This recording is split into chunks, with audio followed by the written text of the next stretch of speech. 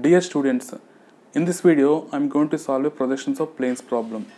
The problem is something like this.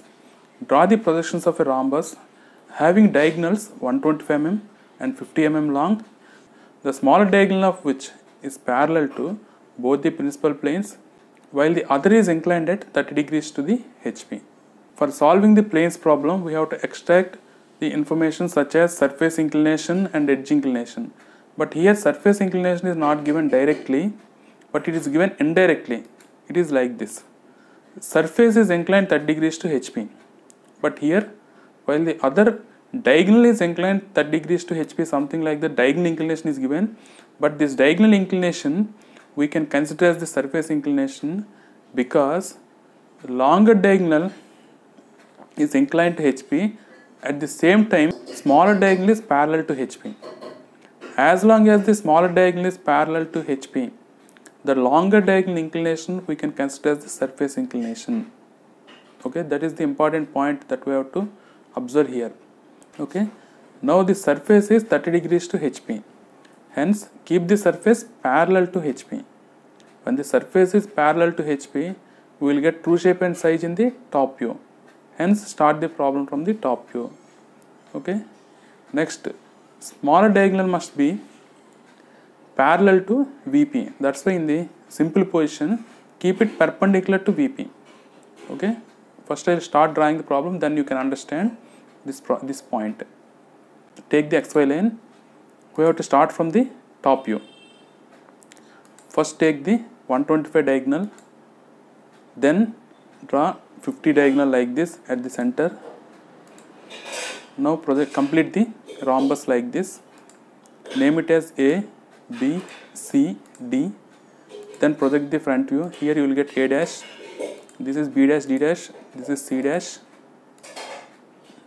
Then in the second stage, somewhere here you take a dash and draw this particular line at an inclination of 30 degrees because this longer diagonal inclination is nothing but the surface inclination so that's why the surface inclination I am representing in the second stage 30 degrees.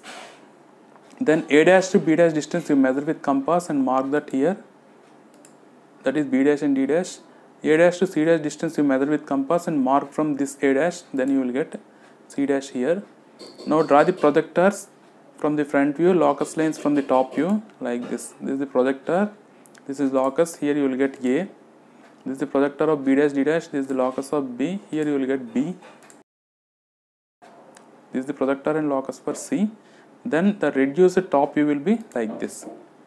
This is the reduced top view here the diagonal smaller diagonal bd is now perpendicular to vp it is parallel to hp because that you can observe here. Bd is like a line. This line is now parallel to HP but this is parallel to both means you have to tilt this to 90 degrees to make this parallel to VP that's why I am tilting this to 90 degrees. This top view I am tilting to 90 degrees in the clockwise direction like this.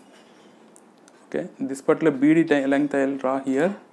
This is BD at the midpoint you draw a perpendicular representing this AC this is AC, this is A and C. Now draw the projectors and locus lines to get the final front view here. The projector of A, locus of A dash, this is A dash, here I will get B dash, then here I will get C dash, here I will get D dash. A dash, B dash, C dash, D dash is the final front view. In this way, we can solve this problem when the surface inclination is given indirectly as a longer diagonal inclination. Thanks for watching my video. If you like this video, please subscribe to my channel.